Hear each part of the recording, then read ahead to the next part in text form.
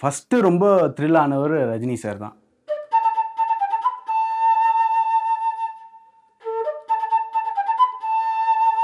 அப்பயே வந்து ஐயோ சார் நான் தான் சார் அப்படின்னாங்க சூப்பர் சூப்பர் அப்படின்னாரு அவர் ஸ்டைலில் சில பாடல்கள் மிஸ்டர் எக்ஸ் எப்படி எனக்கு கொடுத்தாருன்னா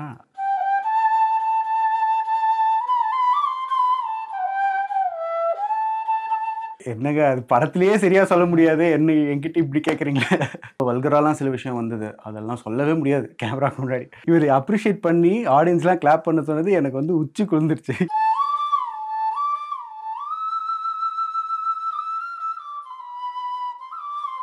சிவகார்த்திகேயன் சார் நடித்த ஃபஸ்ட் ஷார்ட் ஃபிலிமுக்கு நான் தான் மியூசிக் பண்ணியிருக்கேன்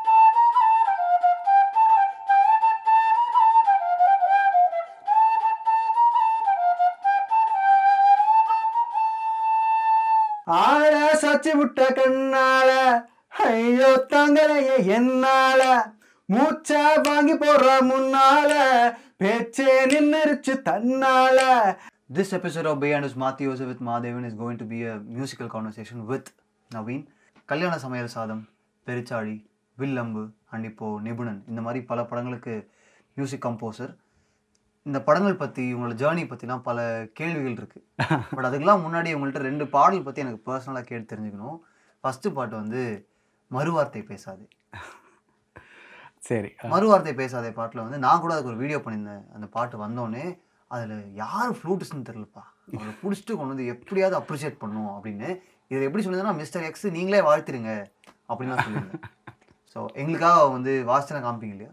கண்டிப்பா. கண்டிப்பாக வாசி கண்டிப்பா. காமிப்பீங்க. பட் அதெல்லாம் கொஞ்சம் தள்ளி வச்சுப்போம். அது வச்சிட்டோம். ஸோ விழாவாரியாக வாசி காமிக்கிறதுலாம் முன்னாடி அந்த பாட்டில் உங்களோட போர்ஷன் இருக்கு இல்லையா? ஆமாம் அது எப்படி எக்ஸ்பிளைன் பண்ணுவாங்க? இல்லை உங்கள்ட்ட சாம்பிள்ஸ் கேட்டு சூஸ் பண்ணுவாங்களா? இல்லை சம் சாங்ஸை வந்து நம்மளுக்கு நோட்ஸ் கொடுத்து இதுதான் இந்த நோட்டில் இந்த நோட்டு போகணும் பர்ஃபெக்டாக நோட்டேட் பண்ணி அந்த மாதிரி வரும் சம் சாங்ஸ் சில பாடல்கள் மிஸ்டர் எக்ஸ் எப்படி எனக்கு கொடுத்தாருன்னா இது இதுதான் மூட் இதை வந்து உங்கள் ஸ்டைலில் எனக்கு நான் அவர் கூட நிறைய ஒர்க் பண்ணியிருக்கேன் இதுக்கு முன்னாடி. ஆமாம் ஃப்ரெண்ட்ஸ் கூட. ஸோ அவர் கூட வாசிக்கும்போது அவர் என்னோடய ஸ்ட்ரென்த்ஸ்லாம் நிறையா தெரியும் அவருக்கு. ஸோ இந்த இடத்துல நீ பூந்து விளையாடு அப்படின்னு சொல்லிட்டு நான் ஒரு ஒரு நாலஞ்சு ஆப்ஷன் கொடுத்துருந்தேன். இந்த ஆப்ஷன் செலக்ட் பண்ணி போட்டிருக்காங்க. So it sounds beautiful so thankful to Gautham Menon sir and him and mister X ஆமாம் பல்லு போன ராஜாவுக்கு பாட்டு இருக்குல்ல? அந்த பாட்டோட தீம் அவங்க எப்படி எக்ஸ்பிளைன் பண்ணாங்க? ஏன்னா இது வரைக்கும் தமிழ் சினிமா வரலாறுலயே வராத விஷயங்கள் பல பேர் பல விஷயங்கள் சொல்லுவாங்க. கண்டிப்பா. ஆனா நிஜமாவே அந்த படம் அப்படி ஒரு படம் அந்த பாட்டும் அப்படி ஒரு பாட்டு. கண்டிப்பாக ஆர்எஸ் பிரசன்னா வந்து ஒரு சூப்பர் டேரக்டர் அதுவும் அந்த அவரோட ஃபர்ஸ்ட் ஃபிலிம் என்னை வந்து சூஸ் பண்ணதுக்கு அவருக்கு ஒரு big thanks of course Arun Vaidyanathan our produce பண்ணிருப்பாங்க. எந்த ஸ்டுடியோல எப்படி பேசி எப்படி லிரிக்ஸ் ஒவ்வொன்றா எழுதி. என்னங்க அது படத்துலேயே சரியாக சொல்ல முடியாது. என்ன என்கிட்ட இப்படி கேட்குறீங்களே அதான் லிரிக்ஸ் இந்த எல்லாமே இந்த ஸ்டுடியோ தான். The same place so lyric writer ஒன்று ஒன்றா ட்ரை பண்ணோம். ஆக்சுவலாக என்னெல்லாமோ வந்து ரொம்ப வல்கராலாம் சில விஷயம் வந்தது. அதெல்லாம் சொல்லவே முடியாது கேமராக்கு முன்னாடி. ஸோ அது இல்லாமல் ரொம்ப அப்ஃப்ரண்ட்டாக இல்லாமல் ரொம்ப முகம் சொலிக்க வைக்காமல் இல்லாமல் பெரியவங்க பார்த்தாலும் ஒரு அளவுக்கு கொஞ்சம் ஸ்மைல் பண்ணுறாப்புல ஒரு சில சில விஷயத்தை பிடிக்கணும்னு ட்ரை பண்ணோம். அப்படி யோசிக்கும் போது வந்தது தான் பல்லு போன ராஜாக்கு கரும்பு தின்னுங்க. ஒரு ஓகே இப்போ இப்போ விஷயம் புரியாதவங்க அது கேட்டால் கூட அது ஜாலியாக ஓகே அந்த ஆமாம் ரைம்ஸ் மாதிரி ஜா ஜாலியாக கேட்டுட்டு அது ஃப்ரீயாக விட்டு அந்த அந்த மாதிரி ஒரு ஒரு ஒரு டேஞ்சென்ட்டில் தான் போகலான்னு ஒரு இது. சூப்பர் கண்டிப்பா அவர் வந்து வாசிக்க வைப்பேன் ப்ராமிஸ் பண்றேன். அதுக்கு முன்னாடி brilliant set of photographs oh thank you thank you நான் வந்து ஒரு டென் மினிட்ஸ் வெயிட் பண்ணேன் இல்லையா? ஆமா. இதை செட் பண்ணலாம். ஆமாம் அப்பவே இதை வச்சு நம்ம ஓட்டிடலாம். பல கதைகள் ரெடியா இருக்கு. நீ ஏன் அதை எவ்வளவு கஷ்டப்பட்ட பட் யா நிபுணன் படத்துக்கு ஒன் ஃபிஃப்டி செலிபிரிட்டி ஸ்பீட் பண்ணாங்க. ஆமாம் டெஃபினட்டாக ஸோ அது such a big thanks to all the cine people and cine celebrities so இது மாதிரி அர்ஜுன் சாரோட ஒன் ஃபிஃப்டின்னு ரொம்ப ஃபஸ்ட்டு ரொம்ப த்ரில் ஆனவர் ரஜினி சார் தான்.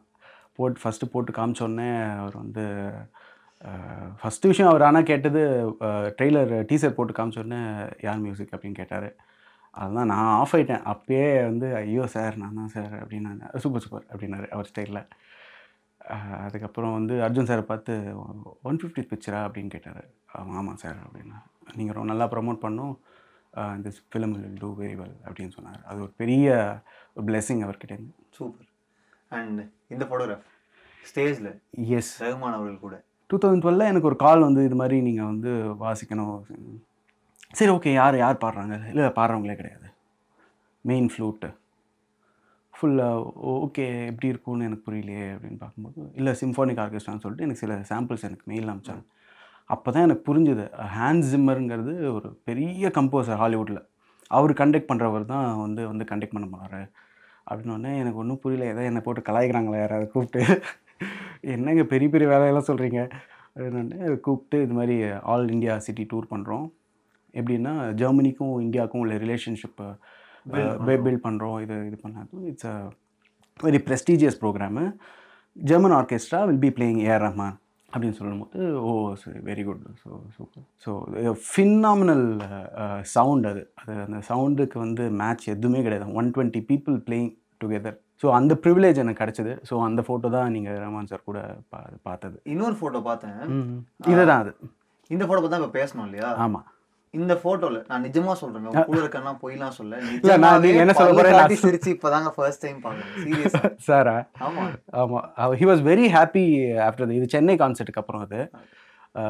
அந்த கான்சர்ட் முடிஞ்சிட்டு அவர் வந்து ரொம்ப ரொம்ப சந்தோஷமாக இருந்தார்.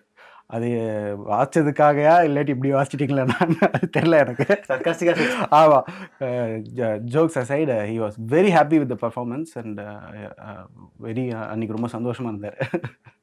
நீங்க வந்து ஸ்லம்டாக் மில்லியன் எல்லாம் வச்சிருக்கீங்க ஆமாம் ஆஸ்கர் வாங்குறாங்க. போய் ரிசீவ் பண்றாங்க. ஆமா. இங்க வந்து whole nation is very happy நானும் ஒரு சின்ன பையனா வெரி ஹாப்பி வெரி ஆமா. ஓகே சூப்பர் உங்களுக்கு எப்படி இருந்தது? நீங்க உங்க அம்மா என்ன சொன்னீங்க? சமய காலத்துக்கு விட்டு ஜாலியா ஜம்முன்னு படுத்திருந்தீங்களா? ஸ்வீட் செய்து மிரட்டினீங்களா? இது ஒரு இன்சிடென்ட் சொல்கிறேன் கேளுங்க. ஆஸ்கர்லாம் வாங்கிட்டாங்க. ஓகேங்களா? எனக்கு அப்போது நான் அதில் வாசிச்சிருக்கேன்னு எனக்கு தெரியாது. இல்லைங்க இப்போ முழுசாக சொல்லுங்க. வாசிச்சிருக்கேன்னு எனக்கு தெரியாது. நான் என் ஃப்ரெண்டு ஒரு பொண்ணு வீட்டுக்கு போகிறேன் சும்மா. உடனே வந்து இந்த ரமன் புது பாட்டுன்னு அவள் போட்டு காமிக்கிறான் அதில் வந்து லத்திகா ஸ்தீம்னு ஒன்று வரும். அது வந்து போடுறேன் எனக்கு எங்கேயோ கேட்ட மாதிரி இருக்கு. என்னடா பிளேயிங் மாதிரி இருக்கு என் சவுண்ட் மாதிரி இருக்குன்னு பார்த்தா நான் வாசிச்சது. எனக்கு நான் தான் வாசிச்சேன்னா அவள் போட்டு கலாய காமிச்சேன் சரி நான் வந்து ஓகே ரஹ்மான் சார் மேனேஜருக்கு நான் ஃபோன் பண்ணி கேட்டேன். நம் நம்மள் தான் வச்சுருக்கீங்களான்னு. ஆமாம் தம்பி உங்களுக்கு தான் வச்சுருக்கேன் தெரியாதா உங்களுக்கு? அப்படின்றாரு. எனக்கு அப்படியே ரொம்ப ஜாலியாகிடுது ஒரு குழந்தைக்கு அன்னைக்கு தான் வந்து தெரிஞ்சிருக்கு. ஆமாம் அடப்பாங்களா இவ்வளோ விஷயம் பெரிய விஷயம் நடந்திருக்கு. Very very grateful God super. அப்படியே எங்களுக்கு அதை வாட்சி காமிச்சிருங்க கண்டிப்பாக லத்திகா ஸ்தீம் ஸ்லம் டாக் மில்லியனர்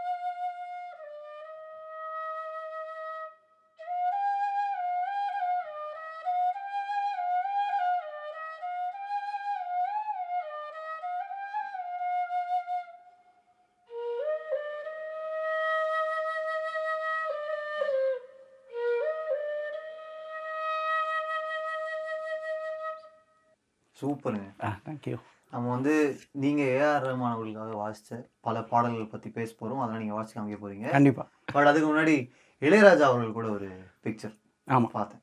அதுவும் வந்து ஒரு லைவ் ஆர்கெஸ்ட்ரா ஆமாம் ஆக்சுவலாக லீலாஜா சார் அவருக்கு ஒரு மூவியில் நான் வந்து ஒர்க் பண்ணது கிடையாது.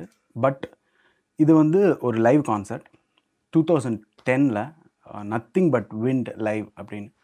நத்திங் பட் மீண்டோட அந்த ரெக்கார்டில் ஒரிஜினலாக வாசிச்சது Hariprasad sir Hariprasad Chaurasia.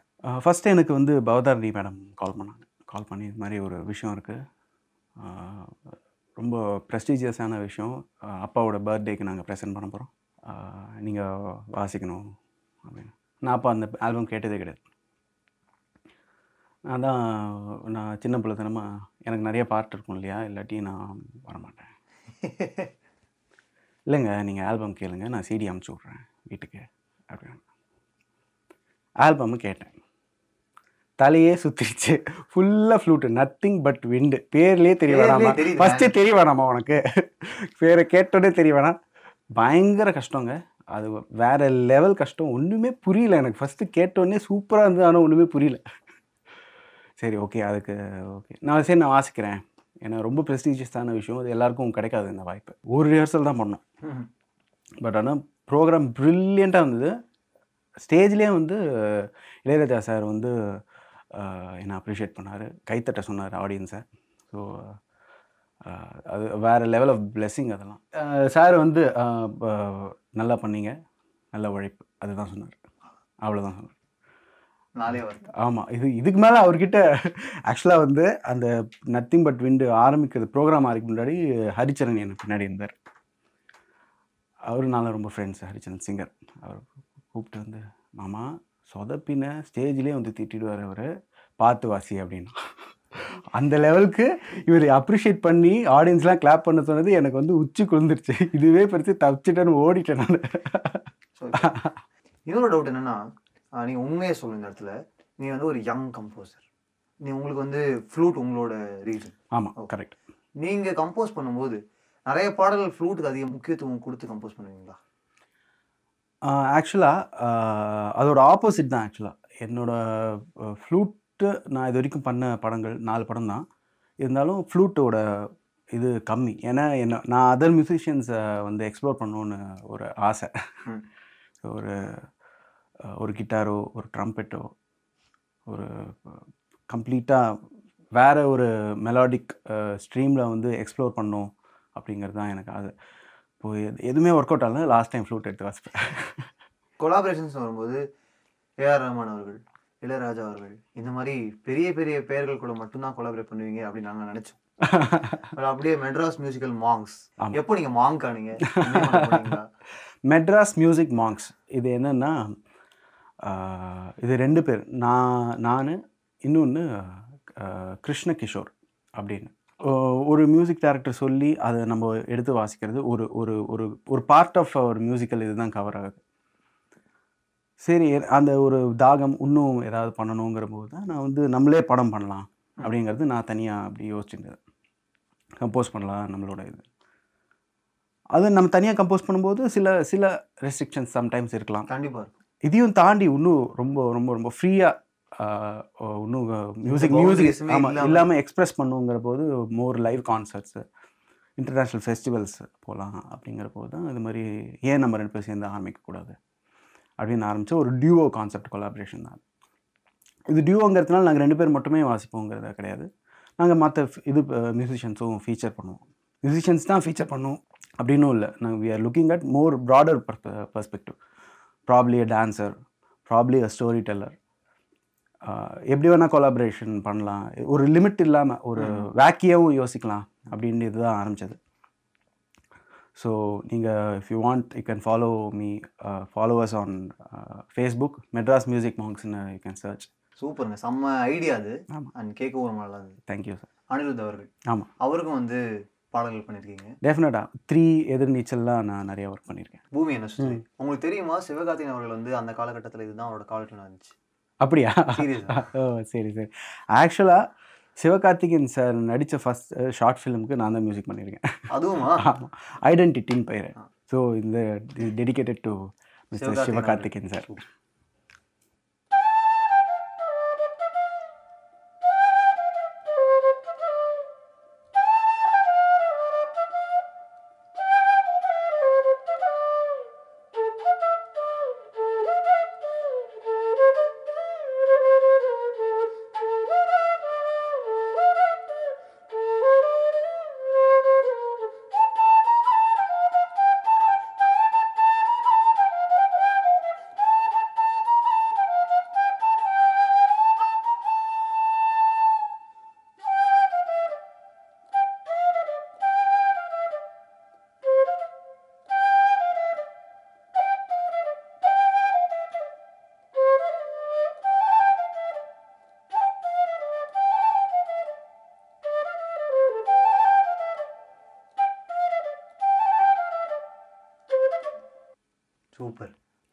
Santhosh Narayanan அவர்கள். சாண்டி.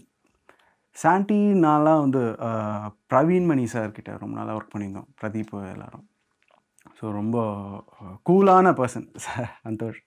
எல்லாருமே சொல்றாங்க சந்தோஷ் நாராயணன் அவர்கள் வந்து ரொம்ப இன்டென்ஸான மியூசிக் கொடுத்தாலும் அவர் ரொம்ப ஜாலியா இருக்காரு அப்படின்னு ஆமாம் ரொம்ப ஜாலியான பர்சன் ரொம்ப கேர்ஃப்ரீ பர்சன் இப்போ நம்ம ரெக்கார்ட் பண்ணுறது ரெக்கார்டிங் போட மாதிரியே இருக்காது. போயிட்டு அப்படியே ஜாலியாக பார்த்துட்டு அவர் பார்த்துட்டு ஹை சொல்லிட்டு அப்படியே எதாவது லைட்டாக சாப்பிட்டு வராப்பில் தான் இருக்கும்.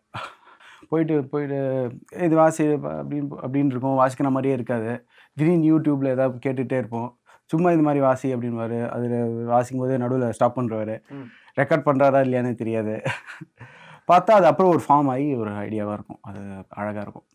எல்லாருக்குமே சொல்லுவாங்க இது வந்து இப்போ நம்ம ரேடியோவில் கேட்கும்போதும் நமக்கு படம் பேத்தலைன்னா கூட இது வந்து ஏஆர் ரஹ்மான் டச் இருக்குப்பா. அவர் படம் தான் இருக்கும். கண்டிப்பாக ஸோ அந்த மாதிரி சந்தோஷ் நாராயணோட டச்சுன்னு எது நினைக்கிறீங்க நீங்க? டச்சுன்னா அவரோட சவுண்டு தான். அவரோட ஒரு கம்மி நம்பர் ஆஃப் இன்ஸ்ட்ருமெண்ட்ஸ் தான் இருக்கும். அவருக்கு பார்த்துருங்களா ரொம்ப சவுண்ட் க்ளீனாக இருக்கும். ஸோ அவ அது அவரோட ஸ்டைல் எங்களுக்காக குக்கு படத்துல. கண்டிப்பாக மனசில் சூற காற்று என்ன ஸ்பெஷல்லாம் இந்த ஸ்டுடியோவில் தான் எல்லாமே பண்ணது. கல்யாணி பிரதீப்போட ஒய்ஃப் தான் கம்ப்ளீட்டாக அரேஞ்ச் பண்ணியிருந்தாங்க. நீங்கள் முதல்ல கேட்டிங்க இல்லையா எப்படி ஒரு பாட்டு எப்படி ஃபார்ம் ஆகுது உங்களுக்கு எப்படி இன்ஸ்ட்ரக்ஷன் சொன்ன சொல்லுவாங்களா அப்படின்னு. இந்த பாட்டை பொறுத்த வரைக்கும் கம்ப்ளீட்டாக எனக்கு நோட்ஸ் கல்யாணி கொடுத்தாங்க. ஒரு ஃபுல் ஸ்கெட்சே கொடுத்தாங்க. ஸோ மனசில் சூற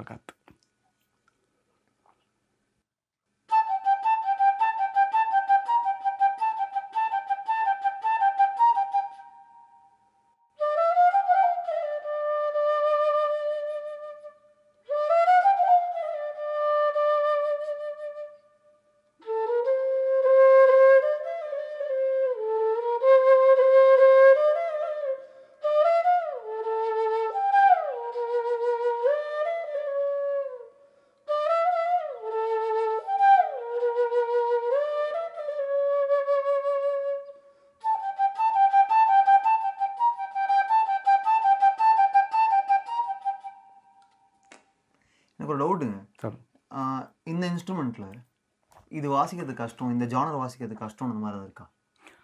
இந்த எமோஷன் கன்வே பண்றது கஷ்டம். கஷ்டம்னா டெஃபினட்டாக இருக்குது என்னென்னா இப்போது ஒரு வயலினுக்கான டைனமிக்ஸு ஒரு ஃப்ளூட்டில் இருக்காது. அதாவது டைனமிக்ஸ்னால் நான் சொல்கிறது அந்த வால்யூம் டிஃப்ரென்ஸ் சொல்கிறேன் அப்படி வருது இல்லையா? அந்த வயலினில் வந்து ஈஸியாக கொண்டு வந்துடலாம். இதில் கொஞ்சம் கஷ்டம். பட் இதுலேயும் இதுக்கான டைனமிக்ஸை அதுக்கு மேட்ச் பண்ண முடியாது.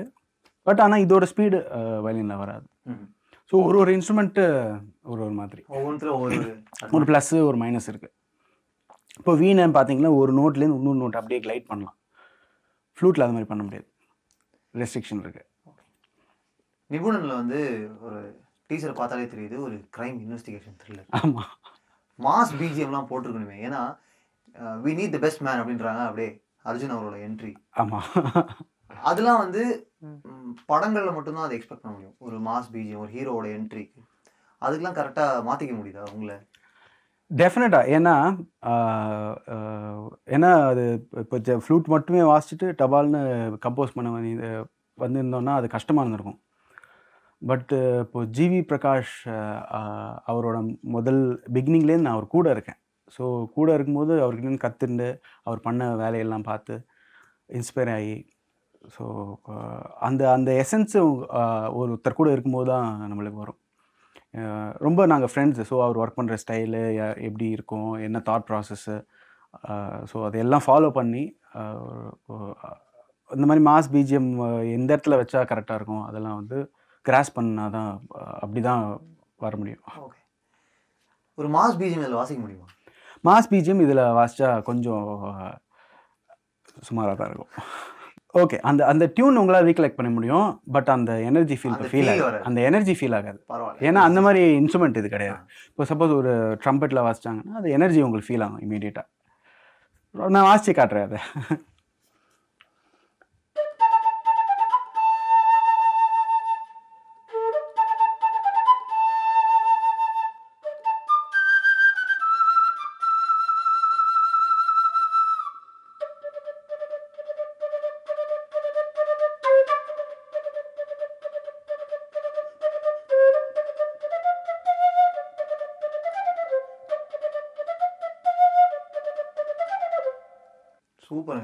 ஃபார் பீங் வெரி ஸ்போர்ட்டிவ் திடீர்னு எடுத்து விட்டாங்க இதை. Thank you thank you GV Prakash Kumar அவர்கள் கூட ரொம்ப காலம் டிராவல் பண்ணியிருக்கீங்க. ஆமாம் அதுல யாராலையுமே மறக்க முடியாது. ஜிவி பிரகாஷ் குமாராலையும் மறக்க முடியாது. டெஃபினட்டா ஒன் ஆஃப் இஸ் பெஸ்ட் சாங்னு சொல்லலாம். கண்டிப்பாக கண்டிப்பாக அந்த பாட்டு எங்களுக்கு. கண்டிப்பாக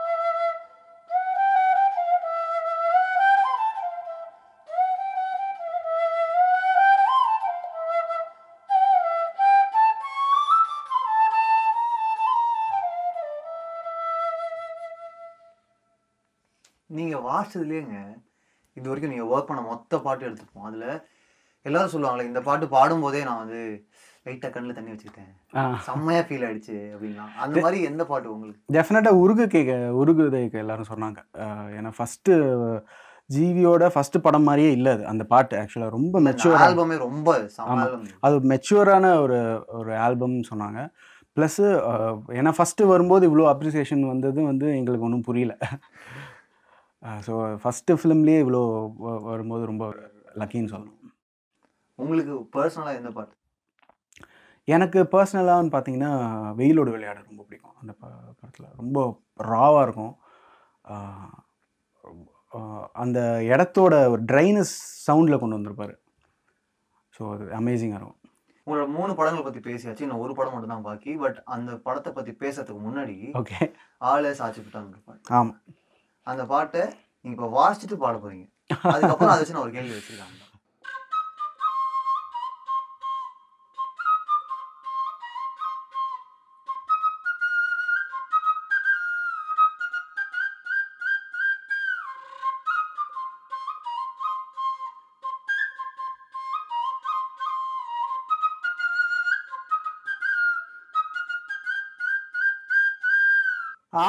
சச்சி விட்ட கண்ணால ஐயோ தாங்களைய என்னால மூச்சா வாங்கி போடுற முன்னால பேச்சே நின்னுருச்சு தன்னால நெஞ்சுக்குள்ள பல்லாங்குழி குந்திக்கிட்டு ஆடுறா நூத்தி எட்டா கொண்டாங்கடா பிபி எட்டா ஏத்துறா நான் நான் நான் நான் நான் நான் நான் நான் நான் நான் நான் நான் நான் நான் நான் நான் நான் நான்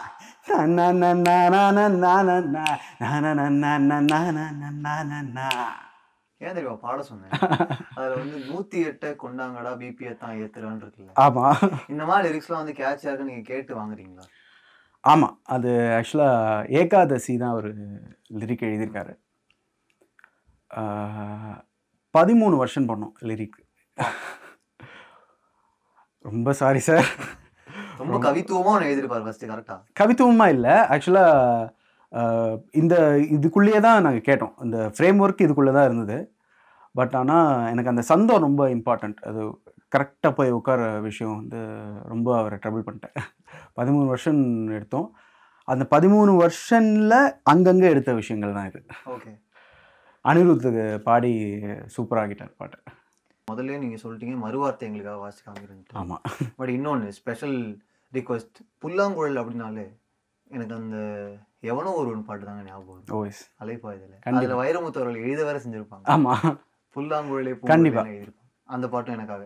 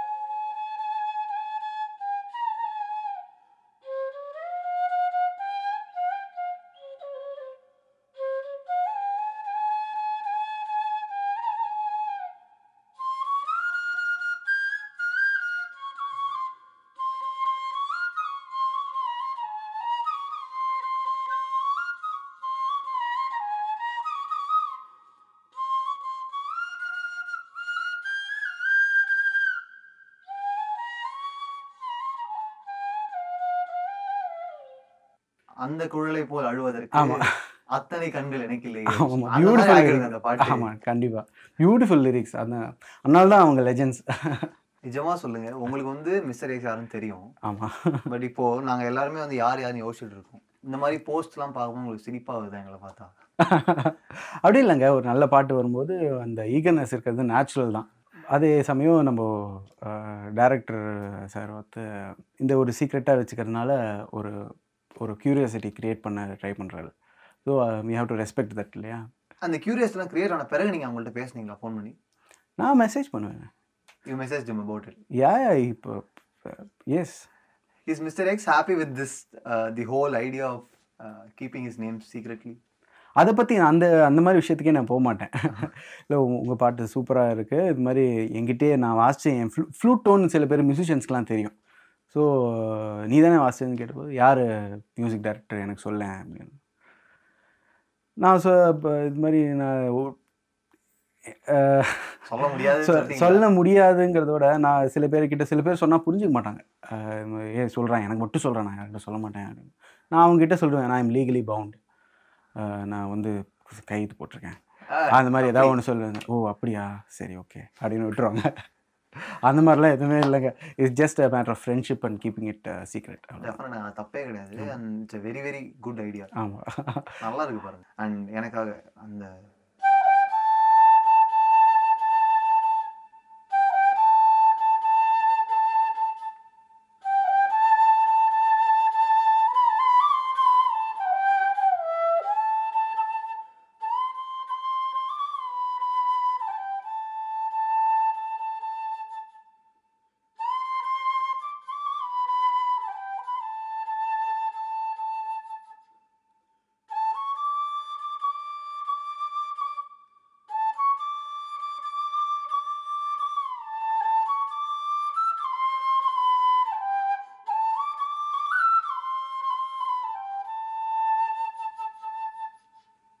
இன்னொரு முக்கியமான பாடல். ஏஆர் ரஹ்மான் அவரோட இசையில. அவளும் நானும். அவளும் நானும் ஆக்சுவலாக நடக்கிற டைமில் நான் ஆக்சுவலாக சார் ஸ்டுடியோவில் தான் இருந்தேன். இஃப் ஐம் நாட் ராங் அது ஃபஸ்ட்டு விஷுவல் வந்துச்சு. பாட்டு எதுவுமே கிடையாது. ஜஸ்ட் அந்த பீச்சு சிம்பு சார் ஹீரோயின் எல்லாம் உட்காந்துருக்காங்க அது மாதிரி விஷுவல்ஸ்லாம் வந்துடுச்சு அதுக்கப்புறம் தான் இந்த பாட்டு பண்ணாங்க. இந்த மாதிரி ஜென்ரலாக நடக்காது. எஸ்பெஷலாக இந்த பாட்டு முடிஞ்சதுக்கப்புறம் நான் ஃப்ளூட்டு வாசித்ததெல்லாம் முடிஞ்சதுக்கப்புறம் நீங்கள் பார்த்தீங்கன்னா யூடியூப் சேனலில் வந்து லிரிக்கல் வீடியோவில் என்னோடய ஃப்ளூட் வாசிக்கிற மாதிரி விஷுவல் வரும். So beautiful song for you